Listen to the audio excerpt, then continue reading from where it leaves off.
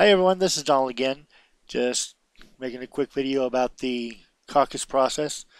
Now, um, I, I left from ISU on the bus they had set up to go to the Shoshone Hotel and Event Center about 6 o'clock. I finally got out there about 6.30. Um, there was quite a line outside waiting to get in. And so, and there was also two lines. One for people like me who had pre-registered through the internet, and those who hadn't registered at all were just showing up there. So we worked our way through the line, which is a long and sort of winding line going into the building and even inside the building. And I eventually got into the hall itself uh, about 6:45. And because there were so many people still waiting in line at 7 o'clock, they didn't actually close the doors, I think, until it was like 7.30. And inside the room, it was just incredible to see. One whole half of the room was just Bernie, Bernie Sanders supporters. And on the other side, it, half of the remaining half was Hillary Clinton supporters.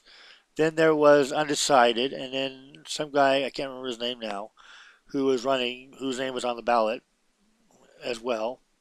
So we went through the first ballot, and it, it's quite interesting because it was like 78.1 to I can't remember what what the actual percentage was that um, Clinton had.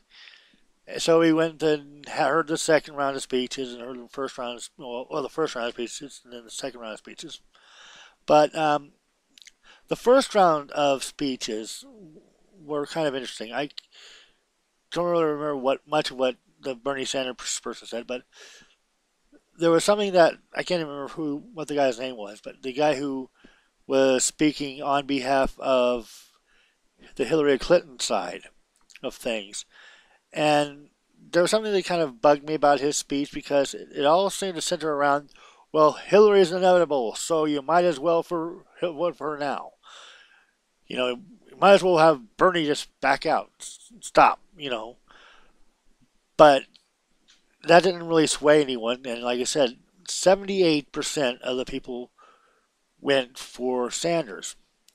Now, then they had a couple of ISU students doing the speaking, one for Bernie and one for Hillary. And the one who spoke for Hillary kind of bugged me. I mean, both speeches kind of bugged me, because, but the second one especially, because her whole point seems to be, well, Hillary has a vagina. Vote for her. He, she's a woman, you know, and she he she probably made some good points. Really, she did about the wage gap, uh, which I don't know how if it's really accurate these days. I've heard a lot of things about it being myth more than anything else anymore. And basically, the rest of it was boiled down to Hillary has a vagina, therefore vote for Hillary. And it's funny, there's this guy that I would had been watching for the whole time that I was there. Um, a green um, a cap, holding up a big sign. He she and he was going around throughout the crowd. And when the second speaker for Bernie came up, it's like, has anybody been chosen to do this to speak in the second round of the of this? And this guy, you know, a bunch of people started pointing at him. Chris, put Chris up there, have him speak, yay!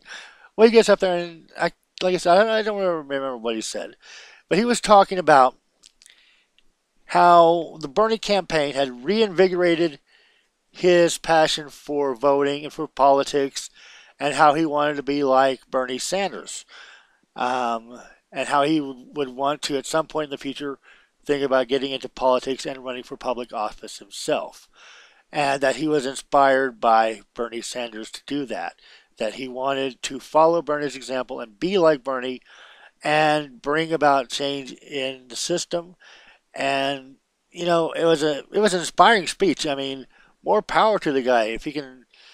You know, I'm gonna keep an eye out because he probably had a beard and all that stuff, but I think he's someone that you know, in terms of Idaho politics, in terms of on the Democratic side, is possibly someone that should be I should keep my eye out on eye out for.